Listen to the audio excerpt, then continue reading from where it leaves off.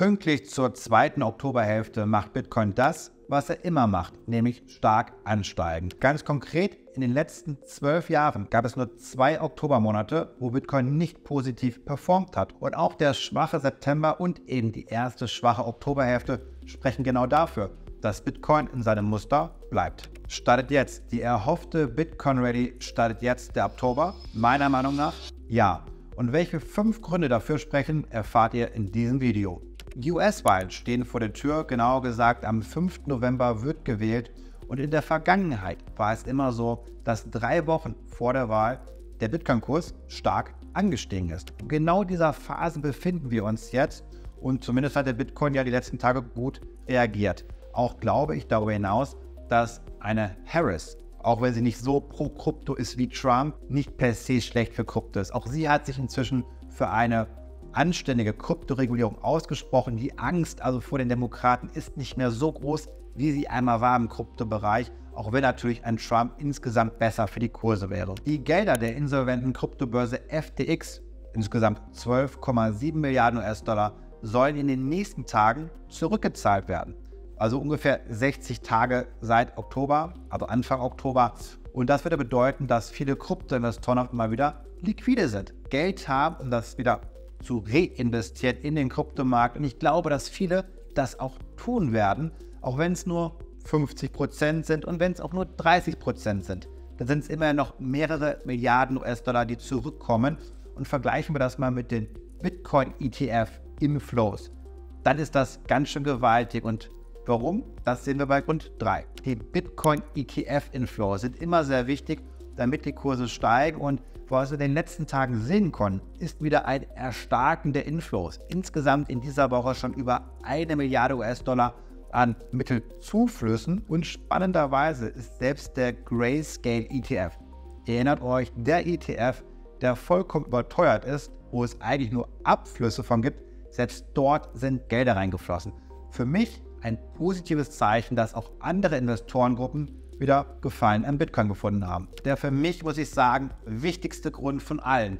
Und das ist der, dass wir sehen können, dass der Zinssenkungszyklus weiter vonstatten geht und erst am Donnerstag in dieser Woche die Europäische Zentralbank ebenfalls nochmal um 25 Basispunkte die Zinsen gesenkt hat. Und vor allem denken viele sicherlich auch an China in den letzten Tagen. Dort gab es viele Headlines mit ja, Liquiditätsmaßnahmen der chinesischen Regierung, um den Immobilienmarkt zu stützen in gigantischen ja, Dimensionen. Auch dieses Geld wird wieder dazu führen, dass die Geldmenge steigt und wie wir wissen, korreliert Bitcoin mit der Geldmenge M2 hervorragend. Wir haben eine Korrelation über 90 Prozent. In meinen Augen ist das die beste Maß, das beste Maß, das wir haben, um vorherzusagen, wo sich Bitcoin hinentwickeln dürfte. Und ja, alle anderen Zentralbanken, ich glaube, es sind so viele wie noch nie in den letzten Jahren gewesen, haben gemeinsam jetzt den ja, Zinssenkungszyklus begonnen, was dafür sprechen würde, dass eben auch Bitcoin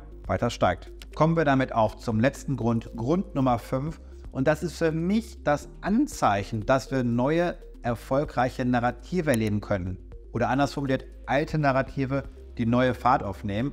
Denn gerade Gaming, das ist etwas, wovon ich sehr viel halte und glaube, dass wir in kurzer Zeit große Sprünge machen können. Und zuletzt die Ankündigung von dem Blockchain-Game Off the Grid, das auf der Avalanche Blockchain basiert, das macht schon echt gute Schlagzeilen jetzt. Die Grafik sieht hervorragend aus und ich höre von vielen Gamern, die sagen, das könnte ein Spiel sein, ein Game sein, das wirklich nachhaltig Spaß macht und damit auch einen neuen Hype kreiert, und Blockchain Gaming ist nun mal sehr, sehr groß. Nichts kann schneller skalieren. Ich glaube auch schneller als AI, als DeepIn und andere Narrative, die wir im Kryptosektor haben.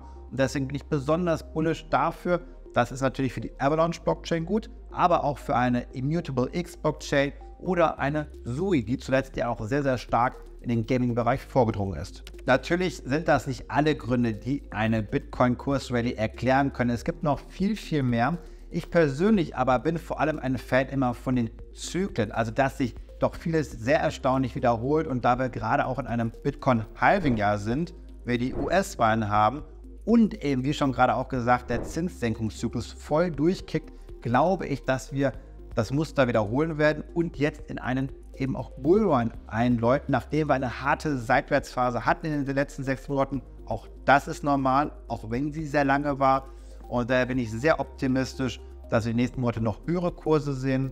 Und mich würde natürlich aber auch interessieren, was eure Gedanken dazu sind, welche weiteren Gründe ihr noch seht, warum Bitcoin weiter ansteigen sollte. Darüber hinaus, damit ihr nichts davon verpasst, was weitere Gründe sind, folgt uns doch auch auf unseren anderen Kanälen und zu guter Letzt besucht am besten regelmäßig BTC Echo, unsere Homepage, denn dort erfahrt ihr immer ja, die neuesten News und eben auch, welche weiteren Gründe es in Zukunft noch geben könnte, damit wir eine bullische Saison erleben.